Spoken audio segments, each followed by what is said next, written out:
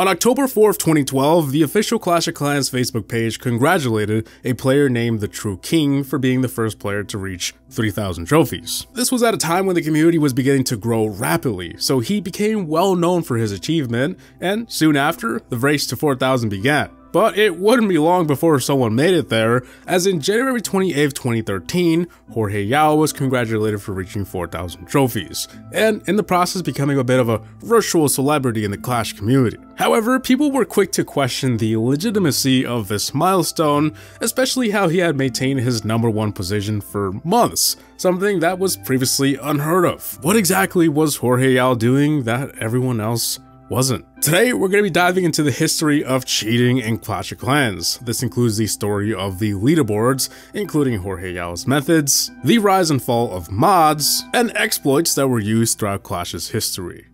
The very first form of cheating was to simply never stop playing.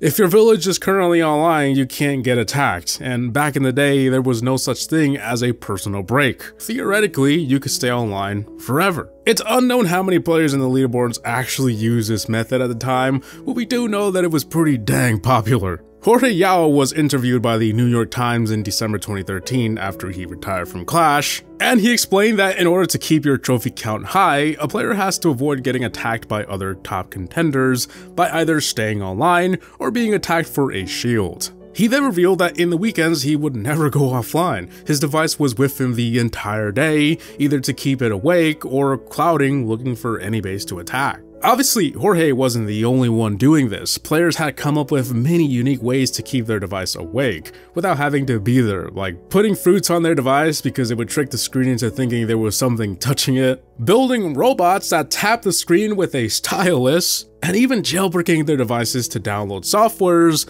that could do it for them. More on that later. If you were one of the players that constantly logged off, getting attacked and losing trophies, you know, playing Clash as it was meant to be, you would have unfortunately never got anywhere near players that were always online. In May 2013, a personal break feature was implemented to enforce players to go offline for a short period of time. However, this could easily be bypassed with mods at the time, and it wouldn't be until early 2014 where this feature actually worked as intended. But this wasn't the only method being used to cheat back then. By late 2012, players were already perfecting the act of win trading.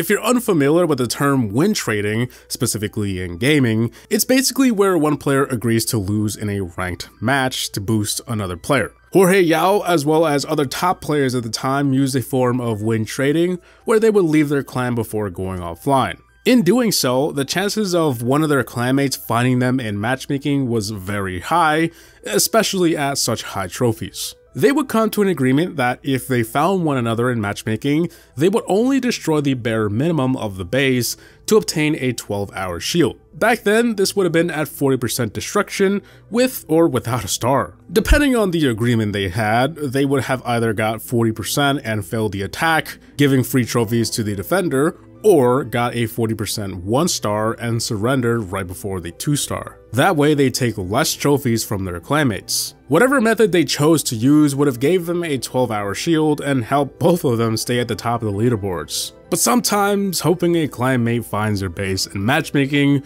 wasn't enough, and it didn't always work either. So to keep reaching new milestones, players like Jorge Yao discovered a new way of win trading attacking yourself. Players in the leaderboard only got offline for one reason to tend to their life. You can't be on the damn game 24 7. I mean, uh, I guess you could, but the reality was people had lives. That's when Jorge realized that if he took over someone else's account during the time that they would have normally had a shield, he could use that account to win trade by himself. One thing led to another, and eventually he was managing multiple leaderboard accounts in order to help his main account reach new heights. Playing as much as 5 iPads at once and even taking them to the shower covered in plastic bags. Many players would eventually use these same methods, even years later after the shield changes. However, win trading would eventually change as a whole after the Legends League rework in 2019. But before we skip all the way to 2019, I wanted to move away from win trading for a bit and take a look at other forms of cheating in Clash of Clans in those early days.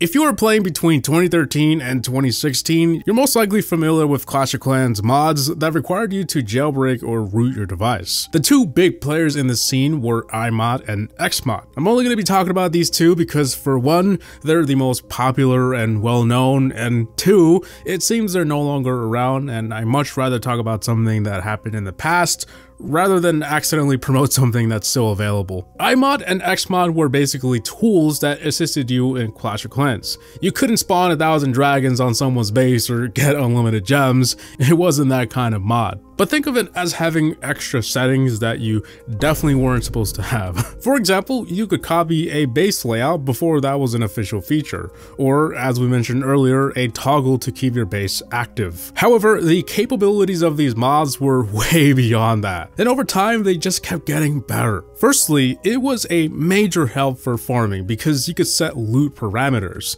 So let's say you set it to 200k gold or elixir. The mod would search and skip for you until it found a base with 200k gold, elixir, or both. It could do this for Dark Elixir, Town Halls, levels, pretty much everything. The second main reason these mods were used was because of their sandboxing feature, a feature that let you visit any base and practice attacking it, even having a toggle that allowed you to see the traps. This became a massive problem in both the leaderboard and clan wars because all of a sudden, players using this mod could practice their attacks before actually doing it. This led to many clan wars where everyone was getting perfect 3 stars and over in the leaderboards, because you usually run into the same bases up there, top players were practicing on each other's bases so they can do good next time they find them. It basically eliminated the need to strategize your attacks. These mods were highly controversial because a lot of players using these mods argued that it wasn't cheating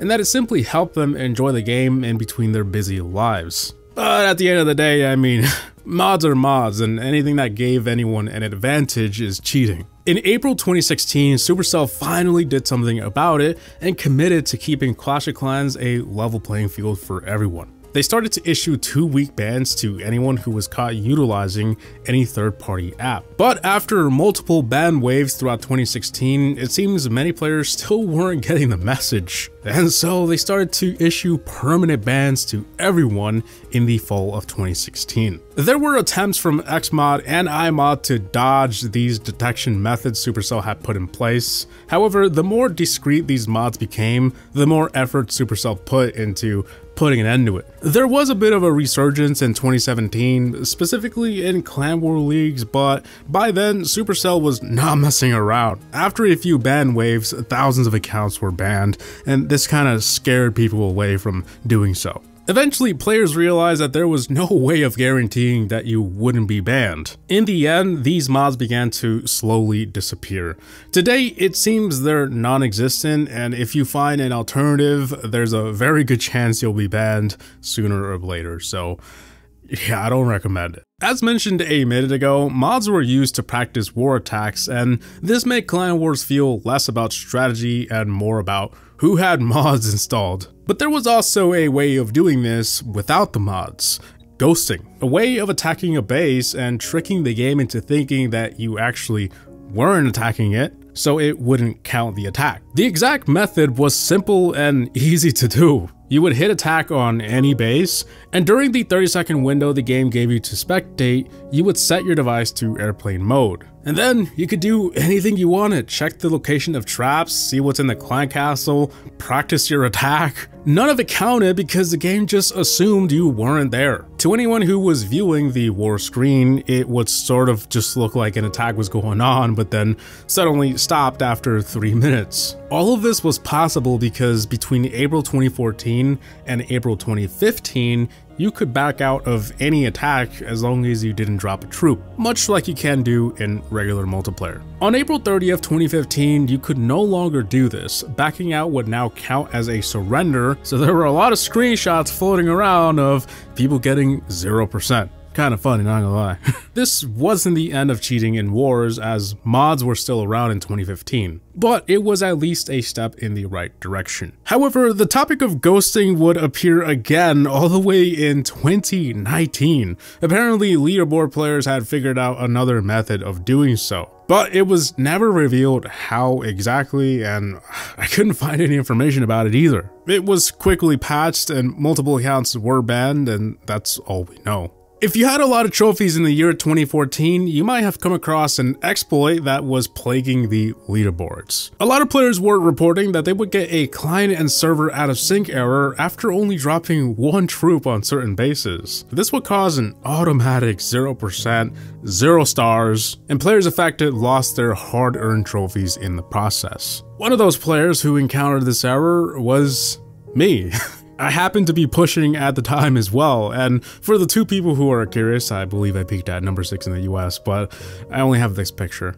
Anyways, sorry, getting a bit off topic. I vividly remember losing tons of trophies because of this error message. At the time, it was believed it was either a server bug or that those players were using Xmod. However, it turns out it was neither of those. Instead, it seems some players figured out a way to bug their base, and so when someone attacked them, the game would realize that something was wrong with their base. A Reddit post from mid-2014 has some proof of this. Here's a base that someone found that was missing a wizard tower, and as soon as they dropped troops, the error message appeared. But upon visiting their base later that day, the wizard tower was back in its place. No one knows how they were managing to unplace defenses and bug their base, and unfortunately we never got the answer to that. The bug was eventually fixed and it was all forgotten about. The players who had abused this exploit and gained tons of trophies from defenses just moved along like nothing ever happened. Meanwhile, tons of players who were affected by this exploit ended up quitting their journey to be the next number one player. Earlier, we discussed the topic of old school win trading, but ever since the Legends League rework, this method of cheating has evolved, because in Legends League, you cannot lose trophies from attacking, so how would you give trophies to someone else? Well, the main method of win trading was to make an agreement with your friends to never get more than one star when they run into each other. That way, those involved lost minimal trophies from defense, but won a lot on offense. This basically allowed those players to gain trophies faster than anybody else doing it legitimately. In 2019, a couple by the name Stephanie and Dr. Mujtaba broke two trophy records within the span of four months by using this method of win trading. But not only that, they had figured out how to do ghost attacks and a couple of other things. Man, they really wanted that number one spot bad. As mentioned earlier, we don't know how exactly they did the whole ghosting thing, but we do know that the couple was paying their way to the leaderboards. Literally. Apparently, they would pay random ass players in the leaderboards $1,500 to change their name to something stupid like Stephanie Hart Mujtaba, or some silly variation of the same name. In doing so, this confused Supercell in determining who to ban for all this win trading that was going on. But it also allowed their name to be plastered all throughout the leaderboards. Eventually, Supercell started to hand out bans for win trading and the ghosting exploit. However, they still had dozens of accounts in the leaderboards throughout 2020 and I believe 2021, because they could simply make new accounts, buy some, or pay someone to change their name. Fast forward to today, their names are a thing of the past, but it's believed that win trading is still a widespread issue in the leaderboards, clan wars, and even the clan capital. Who the hell want to do that? The developers have gotten better in determining who is doing it, but it's hard to know for sure sometimes. And it's just something that happens in games. The fact is, wherever there is competition, there will always be cheating. I really hope you guys enjoyed today's video. I had tons of fun researching and writing this one. I even learned a couple things myself here and there. I'm sure there have probably been a few more niche ways of cheating in Clash, but these are basically all of the biggest and most prevalent forms of cheating that the game has seen. Anyways, like I said, hope you guys enjoyed. Please like, comment, and subscribe. And as always, thanks for watching. Have a gaming outs. Peace!